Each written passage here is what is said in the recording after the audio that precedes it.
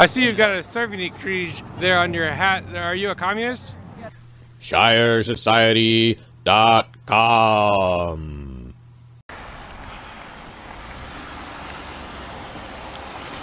So that was a guy with a long box, you know, a long a long suitcase and an earpiece. So my my one I'm wondering if that was a sniper.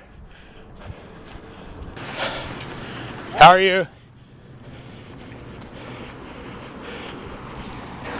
So today in Colorado Springs is a visit of the Westboro Baptist Church, this uh, anti-gay group that holds uh, controversial signs at seemingly random locations.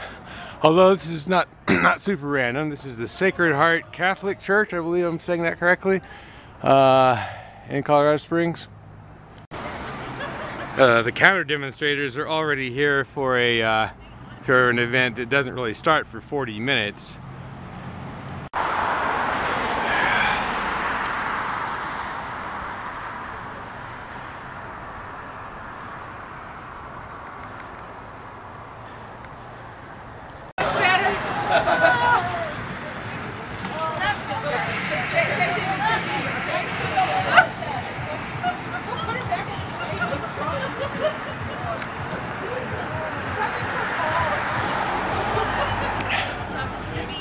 Can I chatter with you?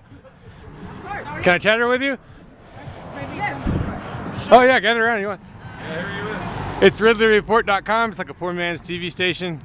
All right. All right, TV for the people, right? Yeah.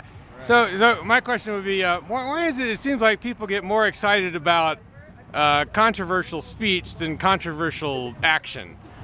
Uh, well, Is that true? that's not true. Not, not in my case. Uh, I'm against. I've, I, I've been arrested for the DAPL. Uh, so that was a controversial action, and I took controversial measure back. You know. Yeah. I will, I've also been against the separation of families on the border and throughout the country. So, so it's not just because uh, Westboro is showing up. I, I show up for a lot of different things. Okay. All right. I'm sorry. What were you saying? I'm saying I said treating other human beings as subhuman is controversial action. Whatever somebody does with their own life that is, does not harm another human being is not controversial. Are they actually doing that? Is Westboro actually doing it, or just advocating it? They are they are advocating it, and yes, this the the, the hate speech, that kind of rhetoric, it, it fuels hate crimes. Like when people when people hear this, when people find feel like that becomes accept that, that the speech becomes acceptable, then the action becomes acceptable. I see you've got a Crvini Kriz there on your hat. Are you a communist? Yeah, I, I'm an anti-capitalist for sure. I, I'm, I'm anti-exploitation. I mean, we think about all the all the different things that have been done by communists that are even worse than the Westboro Baptist Church. Uh, they- according to capitalist media, uh, yeah, according, according, according to, to We're not super according worried to about labels this morning. I think we're just Yeah. going to be worried about you Yeah. know, making sure that people that seek to dehumanize other people uh, face a little bit of resistance. Yeah. All right, fair enough. Thank you. Thank you.